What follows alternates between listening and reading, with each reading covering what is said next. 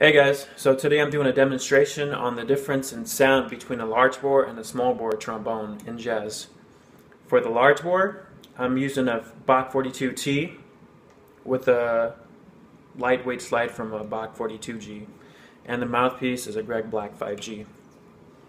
So here's a tune my ideal on the large bore.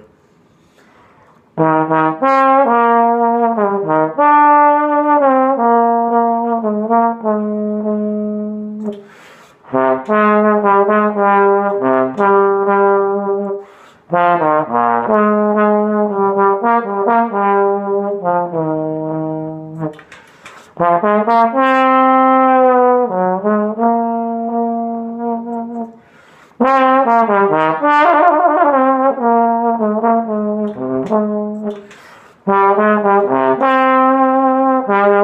Thank you.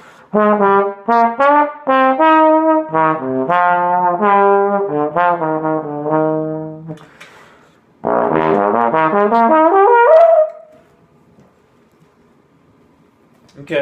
so for the small bore, I'm going to be using an Olds Super.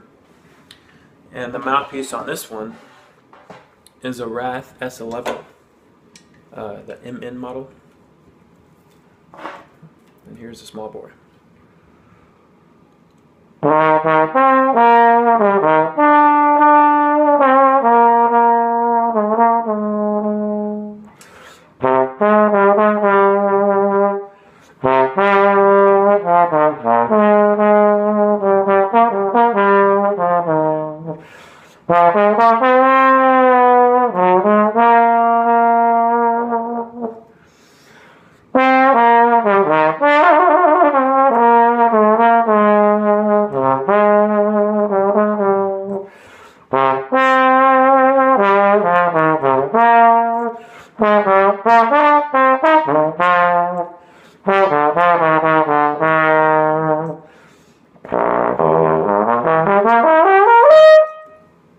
Alright, let me know what you guys think. Thanks for watching.